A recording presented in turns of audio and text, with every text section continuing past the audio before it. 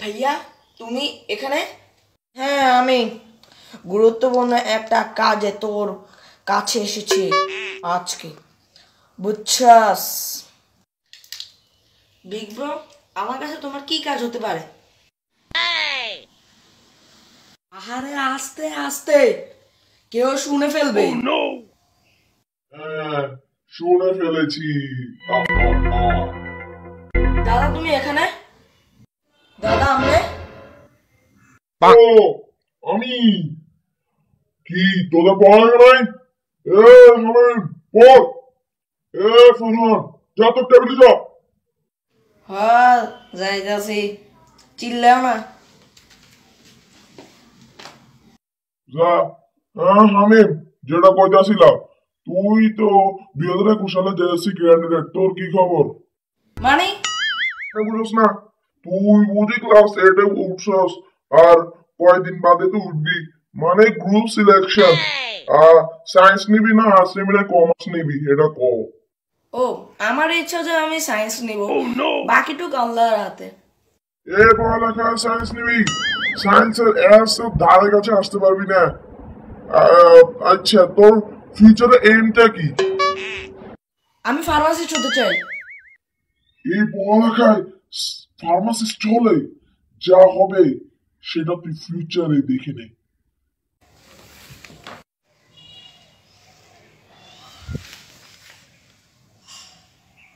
ছয় মাস হয়ে গেছে মোবাইল টিপতে টিপতে আর গেম খেলতে। এবার একটু ইন্টারভিউটা দিয়ে আসি ফার্মাসিস্ট রেডি হব। রেডি হয়ে গিয়েছি। এবারকে অফিসে যাম?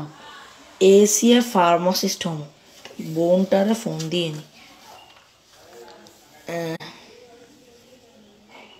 হয়েছে তো zero one six eight seven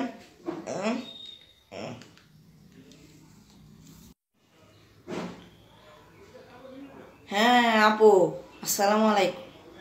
কেমন আছো? হ্যাঁ ভাবতেছিলাম তুমি যদি ফ্রি হও, তাহলে আমি একটু অফিসে যাব। ইন্টারভিউটা একটু সাইরে আসি। কারণ ছয় মাস ধরে আমি শুধু বাবুল গ্রামে খাইতে আছি তো কিছু তো হচ্ছে না।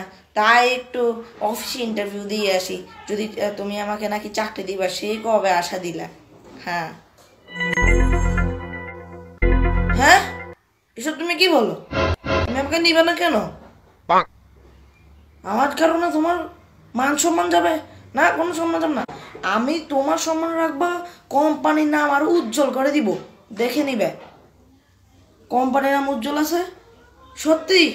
ও, আমি এটাকে ব্র্যান্ড বানিয়ে ছাড়বো। এটা তো ব্র্যান্ড ও ও, আমি তো ভুলে গিয়েছিলাম সরি হ্যাঁ?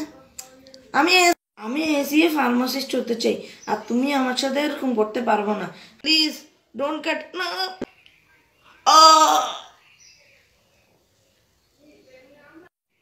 মনে করেছিলাম এই কার্ডের মতো আমি একটা কার্ড বানাবো। এখন আমি শেষ এটা দেখছস তোর ভবিষ্যৎ? হ্যাঁ বুঝ আমি ভালোর জন্যই বলি তুই বুঝোস না। দাদা তুমি একদম ঠিক বলেছ। তুমি আমার দুইটা চোখ খুলে দিলে। এতদিনে বুঝলি জি দাদা। অনেক তাড়াতাড়ি পড়তে হবে। আমি এবারকার স্ট্যান্ড করব। আমি টপ করব। কেউ আমাকে এবারকে হারাতে পারবে না। আমি সবার থেকে ভালো নাম্বার পাবো নাম্বার ওয়ান হব। কেমন যেন লাগছে। আপু! মাই লিটল প্রিন্স তোমার কি হয়েছে? স্ট্যান্ড আপ স্ট্যান্ড আপ বিছানা সহ তোমার কি হয়েছে? দাঁড়াও আমি তোমার জন্য ডাক্তার ফোন দিচ্ছি। ডক্টর প্লিজ কাম আমার রাজপুত্র কি হয়েছে দেখে যাও। ডক্টর প্লিজ দেখে আমার পেশেন্ট কি হয়েছে। বড় একটা ভুল হয়ে গেছে। হ্যাঁ অনেক অসুস্থ আছে। ওকে কোনো ধরনের চাপ দিবেন না এবং সব প্রকার জিনিস থেকে মুক্ত দিবেন অ্যান্ড ওকে বিশেষভাবে যত্ন নেবেন এবং বেড রেস্ট সারাক্ষণ বেড রেস্টে থাকবে। কোনো ধরনের সব বিছানা, দাঁত করানো থেকে শুরু করে সব জিনিস।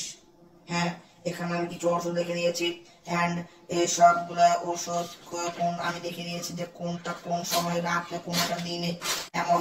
তার কারণে এইগুলো খুব বেশি ভাবে যত্ন নেবেন। হ্যাঁ। আমার ছেলের কি যে অবস্থা? থাক, আপনাকে এখানে আসার জন্য ধন্যবাদ। Thank you very much Arafat Hossain